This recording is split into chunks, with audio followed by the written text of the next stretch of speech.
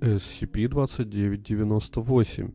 Аномальная трансляция. 2485 МГц. Предупреждение от администрации Фонда по архивной информационной безопасности. Данный документ представляет информационную опасность, устранить которой не удалось. Любая попытка доступа к документации SCP-2998 приводит к тому, что пользователю приходится последовательно просматривать итерацию ложных и вводящих в заблуждение итераций. Пожалуйста, продолжайте просмотр. Вы будете уведомлены, когда достигнете истинной документации. Приносим извинения за неудобства. Мария Джонс, директора ПАИП. Объект номер SCP-2998. Класс объекта безопасный. Особые условия содержания. С целью предотвращения гражданского производства устройств, способных принимать SCP-2998, стандарты радиочастот и производства электроники были изменены фондом на глобальном уровне. Отделы фонда, осуществляющие наблюдение за печатными средствами связи, радио и интернет-связью, должны следить за возможным появлением связанных с объектом изображений или описаний. Частоту передачи SCP-2998 98 необходимо постоянно проверять на предмет любых изменений его содержимого. Все космические суда и зонды следует тайно модифицировать с целью включения оборудования, предназначенного для наблюдения за проявлением объектов вне Земли. Исследования, направленные на поиск источника SCP-2998 и объяснение его содержимого, должны вестись в соответствии с шестым классом приоритета. Описание. SCP-2998 – это электромагнитный сигнал с постоянной частотой в 2485 МГц. Его мощность и происхождение происхождения нельзя определить. Похоже, что он в неизменном виде присутствует во всех участках известной Солнечной системы. Первоначально сигнал был принят за аномальный, но не представляющий опасности белый шум на данной частоте. Небольшие колебания предполагали наличие внутри SCP-2998 некой другой информации, однако до 2011 года не было разработано средств для его декодирования. Было обнаружено, что сигнал содержит цифровую видеотрансляцию с моноауральной дорожкой. На видео изображено гуманоидное существо неизвестного неизвестного вида, парящая в темном помещении. Несмотря на отсутствие каких-либо сопутствующих факторов, рефлекторные невербальные сигналы и высокочастотные шумы, издаваемые существом, позволяют предположить, что оно испытывает сильнейшую физическую боль. На видео не было замечено каких-либо иных существ или внешних источников вреда. Тем не менее, на основании некоторых присутствующих на видео особенностей можно сделать вывод, что происходит некое аномальное телекинетическое явление. Часто создается впечатление, что существо толкают или передвигают. Кратковременный показ предметов на заднем плане предполагает наличие гравитационного поля, из чего следует, что левитация существа объяснена не условиями невесомости, а воздействием неизвестной силы. Приложение 2998А. Было выдвинуто предположение, что SCP-2998 содержит дополнительную информацию, которую только предстоит расшифровать. Методы декодирования и применяемые фондом в настоящее время расшифровывают некоторые участки телевизионного сигнала как помехи. Несколько исследователей пришли к выводу, что подобного быть не должно. Учитывая сложность технологий кодирования и трансляции объекта, выдвинутые гипотезы включают возможность наличия трехмерной пространственной информации, своего рода данные удалены, нейронной активности.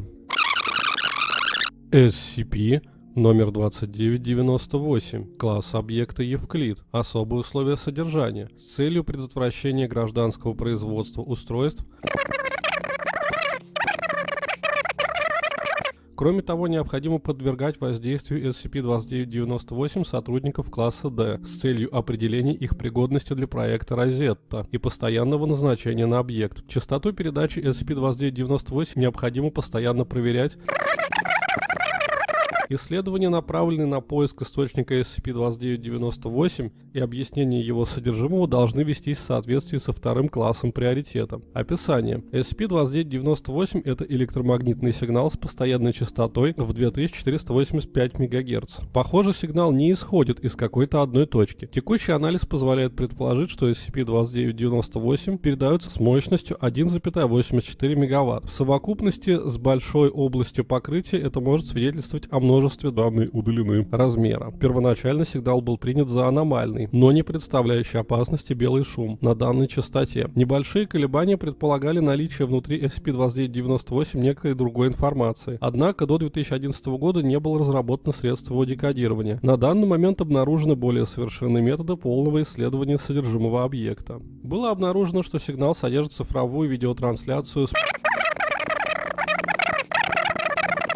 учитывая сложность технологий кодирования и трансляции объекта. Теория подтвердилась. Смотрите приложение 2998b. Приложение 2998b. Хотя к настоящему времени не было разработано каких-либо механических или технических средств расшифровки потенциальных дополнительных данных в SCP-2998, инциденты 2998 бета и 2998 эпсилон показали, что некоторые люди обладают необычными неврологическими свойствами. На данный момент считается, что причина в аномальном ганглии, соединяющем поля Бродмана 41 и 42 с дорсальным ядром амигдалы, которые позволяют им воспринимать дополнительную информацию из сигналов в форме симулированных эмоциональных связей. Полная расшифровка допроса, подвергшегося воздействию объекта сотрудника D099238 и D398398 присвоен четвертый уровень секретности. Доступ к данным документам предоставляется на усмотрение уполномоченных руководителей. Приказом О5-11 от 22.12.13 SCP-2998 был реклассифицирован как Евклид.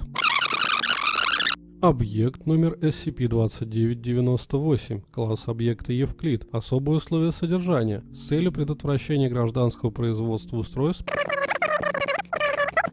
с целью определения их пригодности для проекта Розета и постоянного назначения на объект. Пока что не найдено каких-либо других способов определения наличия в людях функционирующего пучка Розеты. Частоту передачи SCP-2998 необходимо постоянно проверять на предмет любых изменений его содержимого. Кроме того, сотрудников, признанных Розета позитивными, нужно ежедневно подвергать воздействию объектов в течение минимум 12 часов. После этого их необходимо допрашивать с целью получения больше информации о SCP-2998 8 и виде существ, которые его генерируют. Все космические суда и зонды следует тайно модифицировать с целью включения оборудования, предназначенного для наблюдения за проявлениями объектов вне Земли. Исследования направлены на поиск большей информации касательно источника SCP-2998 и дальнейшее объяснение его содержимого должны вестись в соответствии со вторым классом приоритета. Описание. SCP-2998 – это электромагнитный сигнал с постоянной частотой в 2485 МГц. Похоже, сигнал не исходит из какой-то одной точки. Текущий анализ позволяет предположить, что SCP-2998 передается с мощностью 1.86 МВт. В совокупности с большой областью покрытия это может свидетельствовать о том, что сигнал транслируется таким образом, что выходит за границы четырехмерного пространства и проникает в обычное пространство в виде трехмерной сетки с точками входа, располагающимися на расстоянии в трех метрах друг от друга. Поскольку SCP-2998 может быть обнаружен как на Земле, так и вне ее, в настоящее время предполагается, что он единовременно транслируется по всей Вселенной.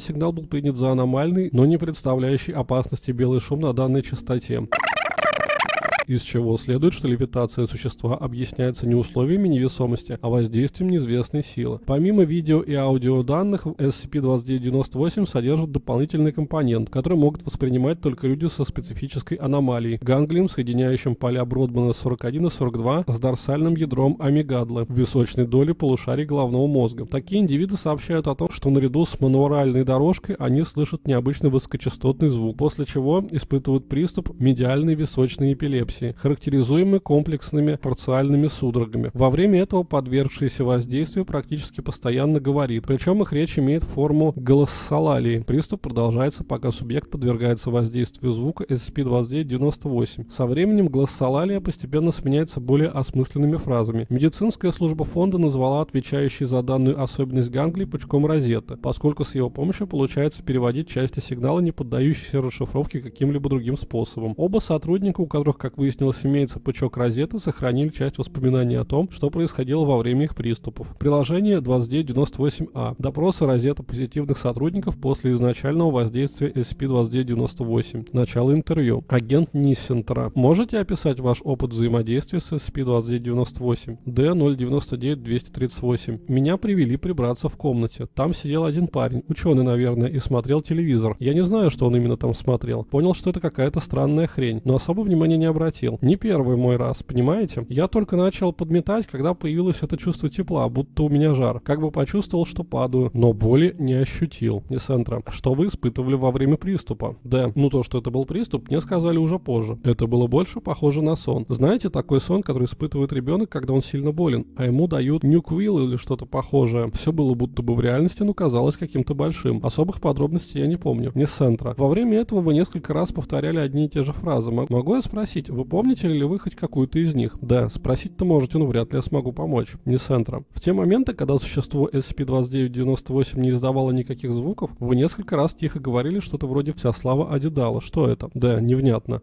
Вся слава Адидалу, вся власть.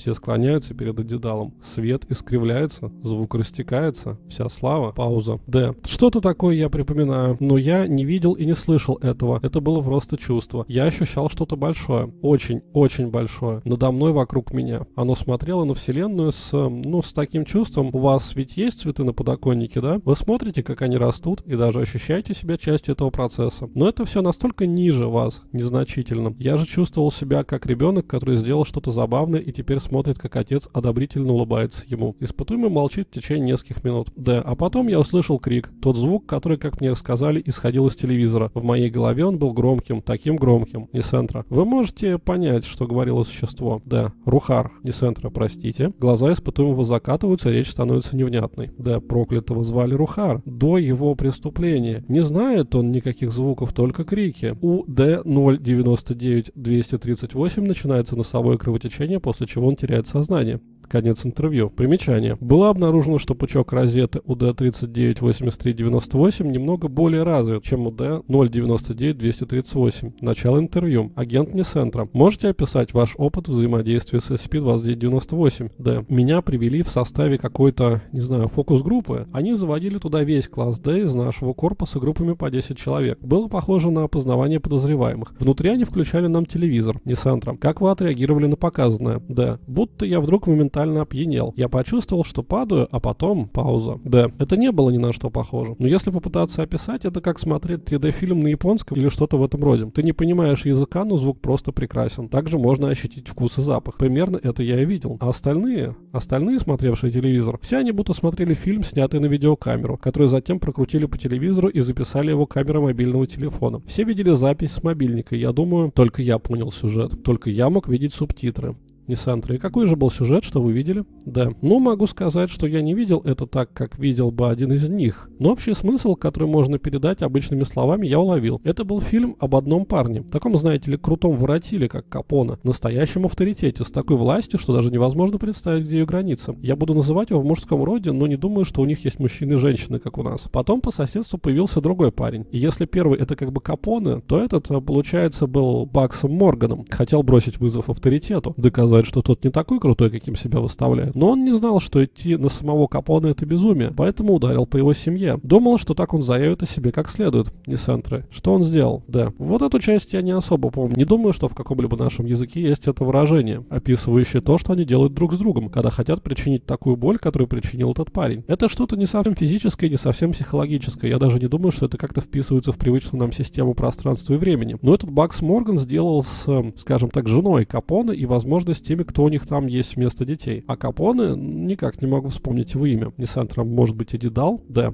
Адидал все знает, все видит. Вся хвала Адидалу, знающему нас. Вся хвала Адидалу, видящему нас. Вся слава. Испытуемый замолкает, он опускает голову. Но потом снова ее поднимает. Из носа испытуемого начинает идти небольшая струйка крови. Да, извините, на меня иногда находит. Вряд ли такое можно просто забыть. Но, в общем, этот ад э, Капона, он тоже решил о себе заявить. Но не кому-то лично. Он хотел, чтобы этот бедняга жил и страдал вечно. И прямо у всех на виду. Никаких легенд, никаких слухов. Он хотел, чтобы все могли видеть, что происходит с теми, кто идет против него. Не Сандра. Вы знаете что-нибудь об этом Руха Рухаре. Да, проклятого звали Рухар до его преступления. Не знает он никаких звуков, только крики. Дыхание испытуемого учащается, но он остается в сознании. Носовое кровотечение усиливается. Не центра. Вы можете сказать поконкретнее? Существо, показываемое в трансляции, это Рухар? Да, проклятого звали Рухар до его преступления. Вечно будут его страдания. Он будет страдать, когда весь космос погрузится во тьму. Он будет страдать, когда вся жизнь в космосе будет мертва. Он будет страдать, когда все время в космосе истощится. Его страдание будет истинно. Когда самой истины уже не будет. Испытуемый теряет сознание.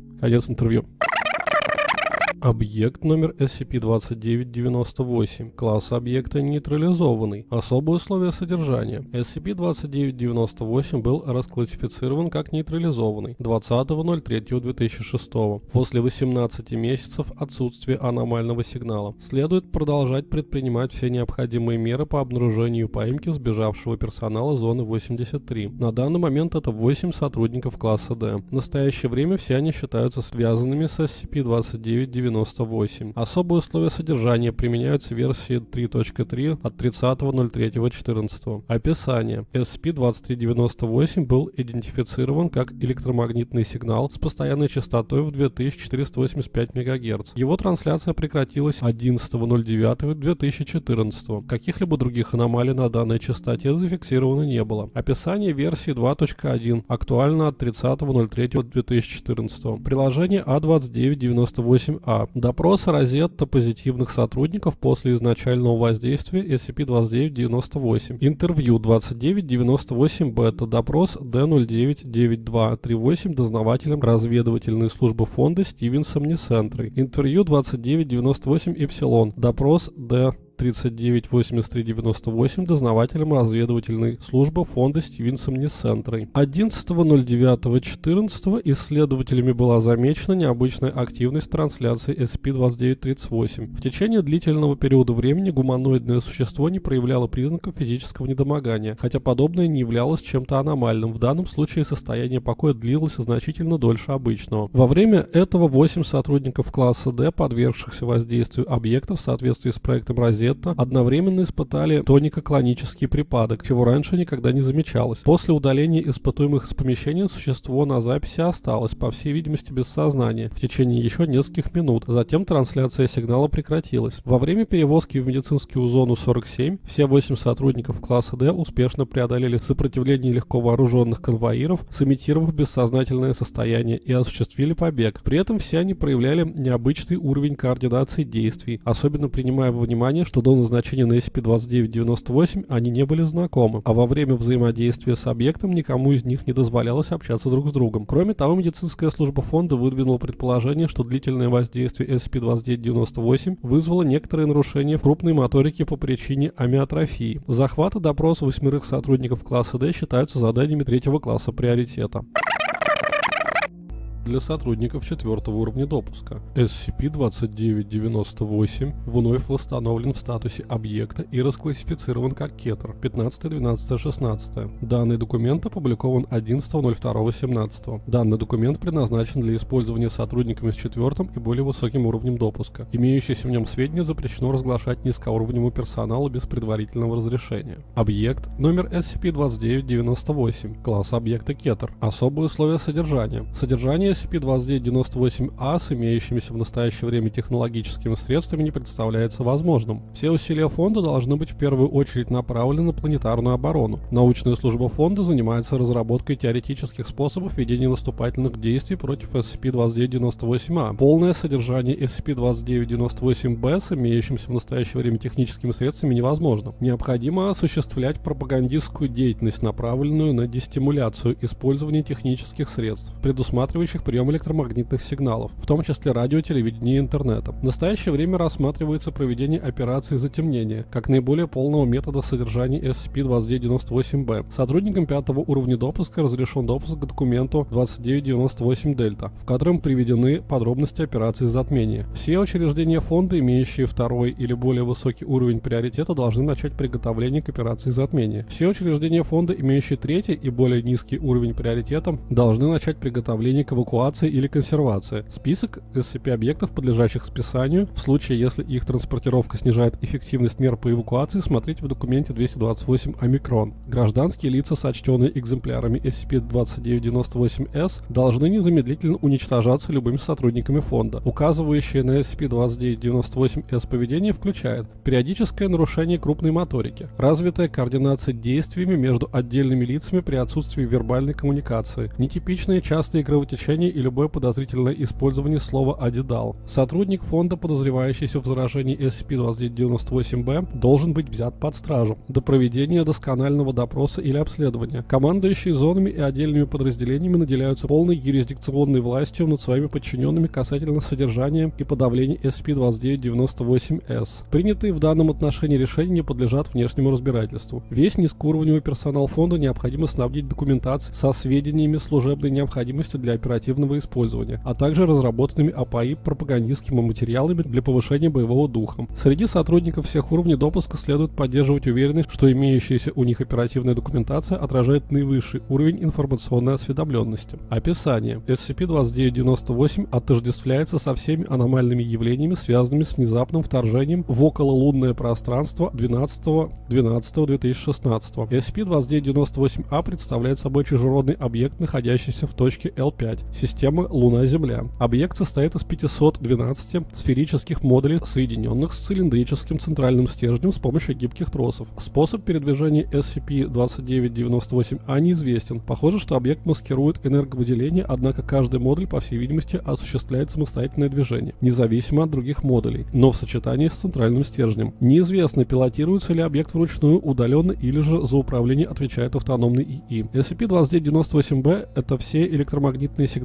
испускаемые SCP-2998-A. Данные сигналы различаются по частоте, амплитуде и длине волны и могут передаваться в виде широковещательных трансляций или узкополосных сигналов. Их общей чертой является чужеродное происхождение и передача с целью создания экземпляров SCP-2998-S. Сигналы SCP-2998-B передавались на большинстве частот длинных волн, используемых техническими средствами человечества, включая радио, телевидение, Wi-Fi, телефоны для сотовой связи и GPS-устройства. SCP-2998-S — это все люди, подвергшиеся воздействию SCP-2998-B и находящиеся под контролем или влиянием SCP-2998-A. По последним подсчетам, SCP-2998-S состоит из примерно 3400 экземпляров, не включая 5238 экземпляров захваченных или уничтоженных фондом. SCP-2998-S обладают рядом устремлений, включая данные удалены. Смотрите документ 2998-И. Документ 2998-И. На момент составления текущей документации в течение двух месяцев начала внеземного вторжения было захвачено 5 живых экземпляров SCP-2998-S. Трем удалось осуществить суицид с использованием различных подручных средств, чаще всего с помощью зубов или находящихся в пределах досягаемости предметов. Один экземпляр отказался идти на контакт, успешно уничтожив свой речевой аппарат и вызвав обширные повреждения повреждений головного мозга, что исключило возможность коммуникации. SCP-2998-S гамма был успешно захвачен и перевезен в зону 203 для проведения допроса. Ниже представленное интервью было переведено специалистом по содержанию второго класса Барбарой Уитман. Специалисты по допросу и разведывательной службы доступны не были. Начало интервью. Специалист по содержанию Уитман. Вы можете ввести свое имя в запись. У субъекта наблюдается сильное носовое и ушное кровотечение, хотя никаких причин для подобного не было выявлено. SCP-2998-S гамма. Ни имя, как ты, мы, оболочка. Имя это неизвестно. Не имя мы. Уитман. Вы можете рассказать о функциях объекта на орбите нашей планеты? Гамма. Не планета вы.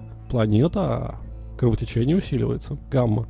Планета Адидал. Вы Адидал. Все Адидал. Адидал вы восхвалять. Адидала вы восхвалять будете. Адидал все восхвалять будете. Уитман, вы можете рассказать о причине вашего прибытия в нашу Солнечную систему? Гамма, не Солнечная система. Солнечная система Адидал. Все Адидал. Уитман прерывает. Почему вы здесь? Гамма. Тьма здесь. Мерзость здесь. Это Адидал боль здесь.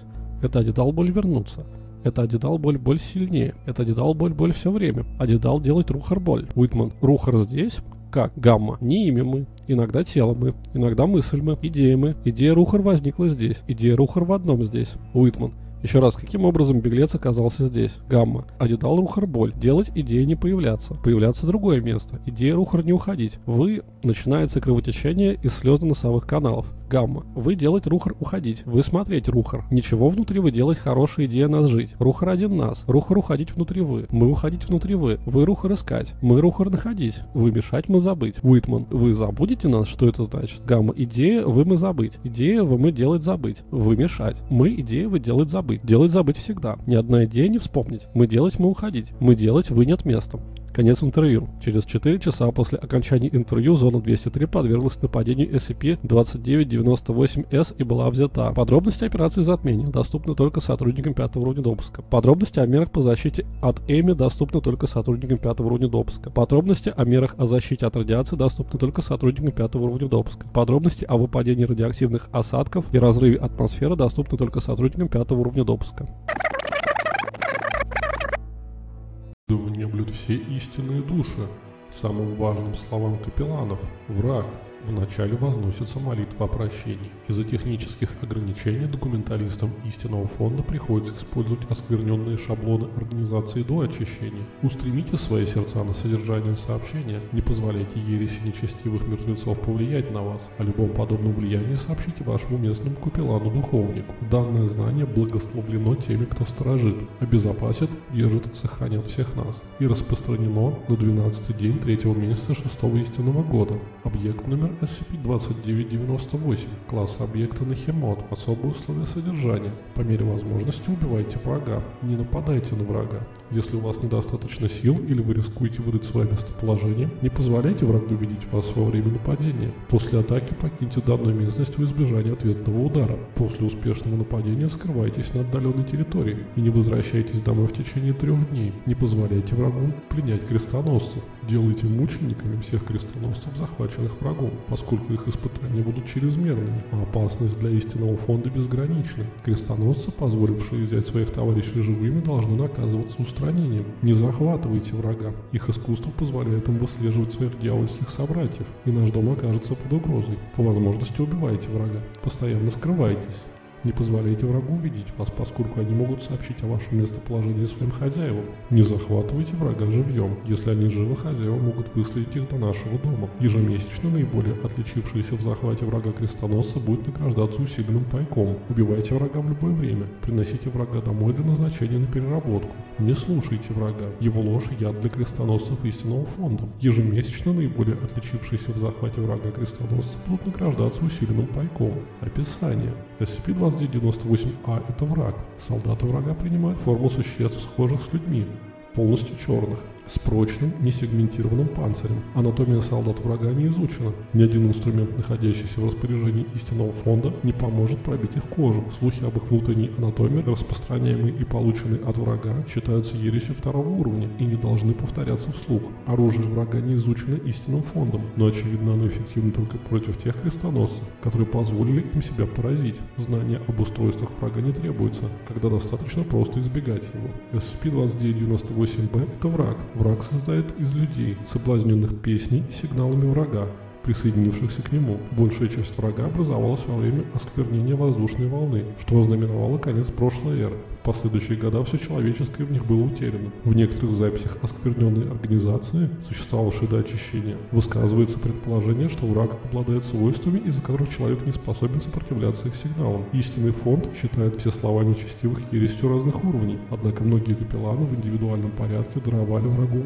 моральное прощение и предлагали сделать это общим предписанием. Данная точка зрения является дозволительной. Враг уязвим для всего стандартного вооружения и должен устраняться или назначаться на переработку, как предписано процедурами содержания. SCP-2998-C – это враг. Враг – источник всей ереси. Враг состоит из оставшихся от оскверненной организации, существовавшей до очищения. Любая организация или группа, отрицающая приход к власти капелланов, после падения тех, кто сторожит, обезопасит, удержит, сохранят нас всех, считается частью врага. Предписанием капелланов враг разделен на два класса. Люди, подвергнувшиеся прямому воздействию молний истинного фонда или нарушившие границы территории истинного фонда и отказавшиеся принять содержание и защиту капелланов. Они считаются еретиками второго уровня и подлежат захвату и переработке, без морального прощения. Люди, находящиеся вне Северной Америки. Со времен помутнения с ними не зафиксировано ни одного контакта, и вероятность подобного мала. Верховное капелланство теоретически предполагает, что члены данной группы могут рассматривать рассматриваться как враг или гражданские лица и уполномачивают всех местных капелланов определить это в случае возникновения подобной ситуации. Конкретный перечень еретиков и их преступлений. Джонатан Мактайр, оскверненный исследователь, искушение других ересей и ввод их в статус врага. Элизабет Тарглов, оскверненный охранник, кража продуктовых запасов, что привело к необходимости более частого использования переработки. Реджинальд Клейбон, пятый, оскверненный исследователь, лжесвидетельствование о тех, кто сторожит, обезопасит, удержит, сохранят всех нас. И помутнение. Арнольд Галч Штейнер, оскверненный исследователь, лжесвидетельствование о мученичестве тех, кто сторожит, обезопасит, удержит, сохранять всех нас. Уильям Лэнгстон, оскверненный исследователь, кража артефактов, принадлежащих истинному фонду оказания помощи врагу. Фатима Уорквайс, оскверненный охранник, кража артефактов, принадлежащих истинному фонду осквернения артефактов. Таймон Хайн, оскверненный подсобный рабочий, разоблачение преступлений, что запрещено приказом Верховного Капелланства. Мария Джонс, оскверненный хронист, искажение записи истинного фонда, кража протоколов безопасности истинного фонда. Дэвид Розен, оскверненный хронист, искажение записи истинного фонда, кража протоколов безопасности истинного фонда. Благословлены будут все солдаты Великого Похода. Смерть SCP-2998. Сноски. Предписание верховных капелланов. Порча документации карается назначением на переработку. Если вы заметили порчу документации, сообщите об этом капеллану-осведомителю вашей зоны. Недонесение об акте вандализма может караться назначением на переработку. Однако местные капелланы имеют право изменить данный приговор на устранение. Номер SCP-2998.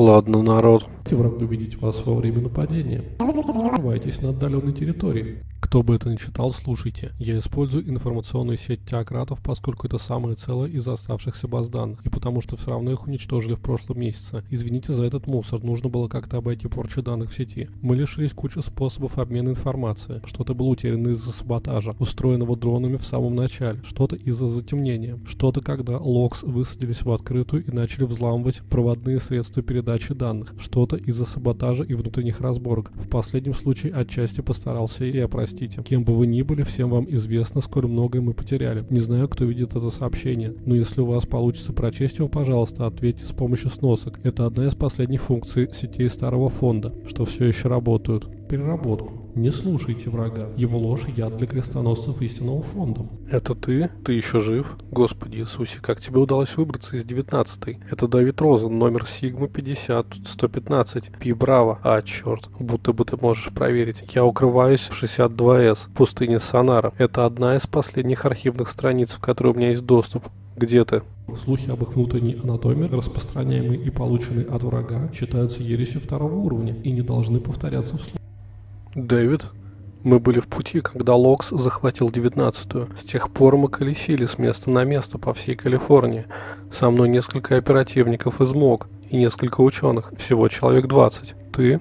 И сигналами врага, присоединившихся к слова Азербайджан, вернение воздушной волны, что ознаменовало я прячусь в отделении службы безопасности на подвальном уровне. Кто-то хранил здесь хренову кучу пайков. Я могу протянуть где-то пару лет, если не буду сильно шуметь. Они физически контролируют весь комплекс, но у меня есть доступ к компьютерным системам. Однако многие капелланы в индивидуальном порядке даровали врагу ты знаешь, что они там делают? Я думал, они занимаются только поисками своего беглеца. Зачем им потребовалось занимать зону? Всего стандартного вооружения и должен устраняться или назначаться на переработку. Как... Я несколько раз подключался к каналам службы безопасности и наблюдал за ними. Я понятия не имею, что за хрень происходит, пока не прочел пару файлов, находящихся здесь. У этого места есть очень конкретная цель. Видимо, эти ребята тоже это поняли. Они выполняют процедуру содержания. Это скверненные организации, существовавшие до очищения. Дай мне пару минут минут, чтобы найти информацию об этом. Капелланов? После падения тех, кто стражи. У меня есть время. Когда вернешься, я бы хотел спросить тебя кое о чем, если не возражаешь. Брак разделен на два класса. Люди подвергнуты... О боже, та самая 62С Аномалия все еще на месте, и они поставили Локс следить за ней. Они делают что-нибудь по-другому? Уровни подлежат захвату. Не Локс, дронов вообще-то. Инфицированные люди, за одним исключением. Лок захватил эту зону рано, возможно даже первая после того, как они спустились, но сейчас их здесь нет. Одного из Локс здесь оставили, но думаю просто как наблюдателя. Однако протоколам они следуют идеально. Нет никаких изменений в статусе, чем бы та хрень ни была. Они просто находятся там же, где и было всегда. Но я не догоняю, почему они еще там.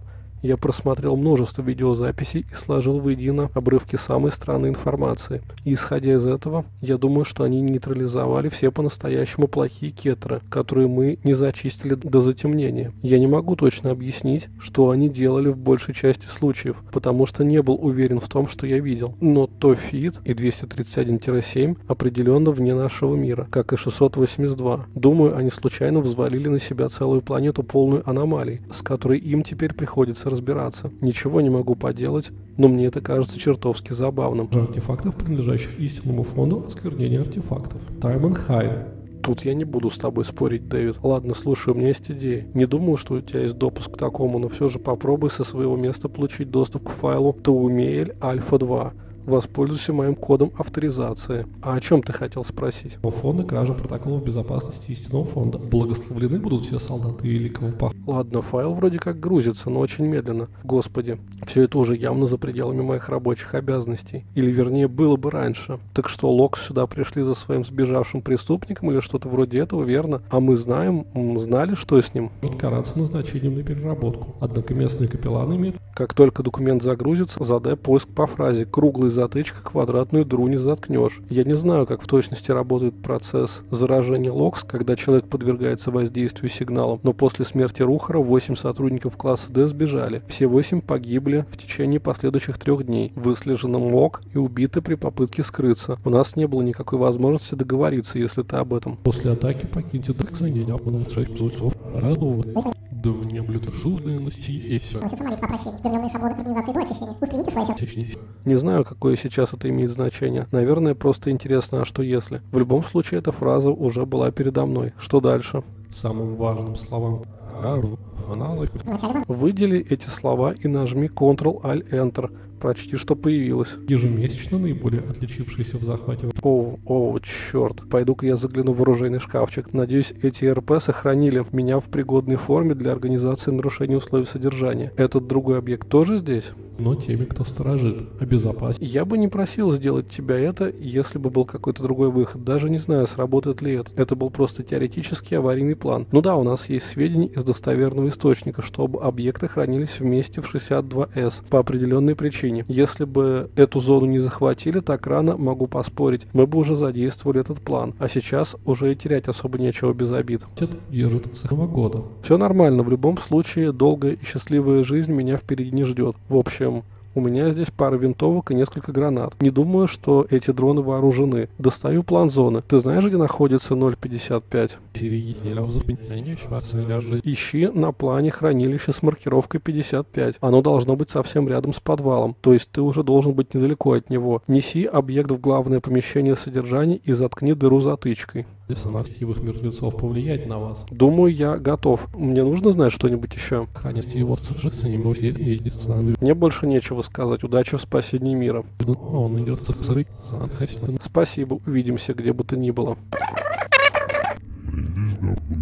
Все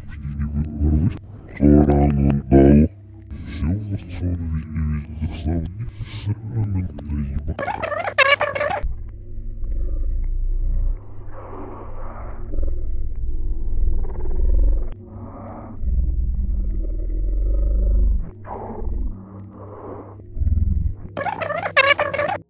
SCP-2998.